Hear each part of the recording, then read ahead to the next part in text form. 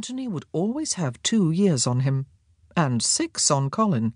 And as for Daphne, well, besides the fact that she was a girl, the horror, she'd known father a full eight years less than he had, and, he liked to remind himself, always would. Edmund Bridgerton was, quite simply, the very centre of Anthony's world.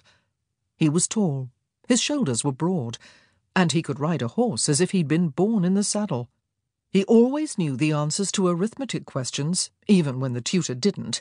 He saw no reason why his sons should not have a treehouse, and then he went and built it himself, and his laugh was the sort that warmed a body from the inside out. Edmund taught Anthony how to ride. He taught Anthony how to shoot. He taught him to swim.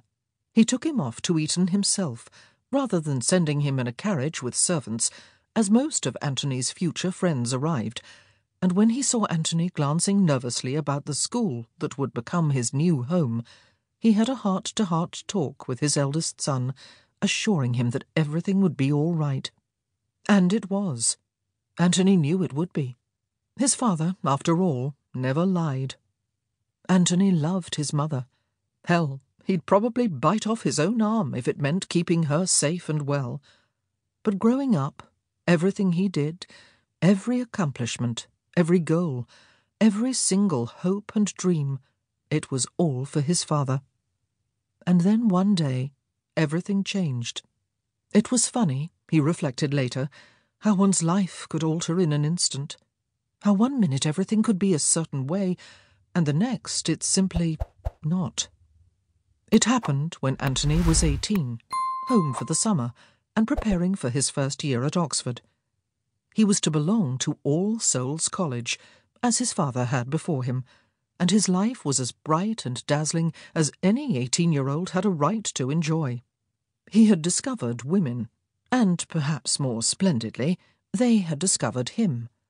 His parents were still happily reproducing, having added Eloise, Francesca, and Gregory to the family, and Anthony did his best not to roll his eyes when he passed his mother in the hall, pregnant with her eighth child.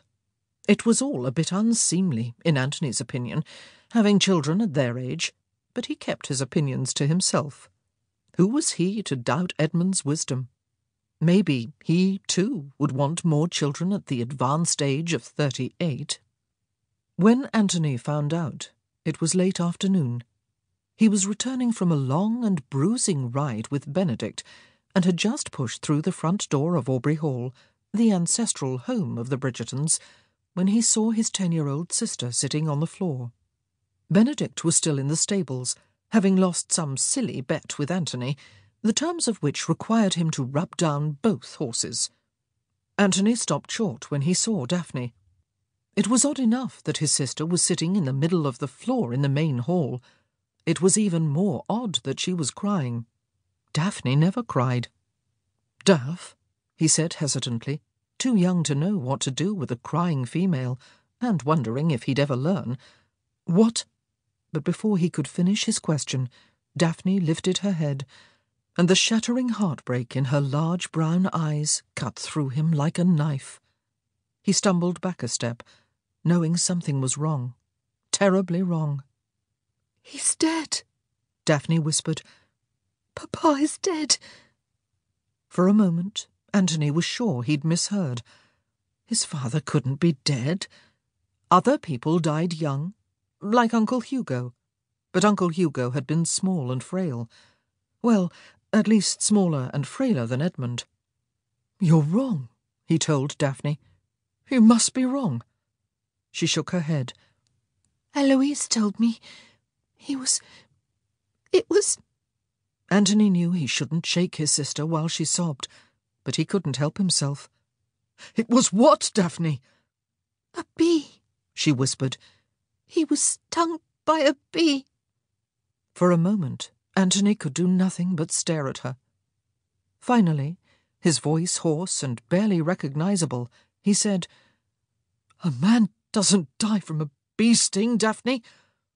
She said nothing, just sat there on the floor, her throat working convulsively as she tried to control her tears.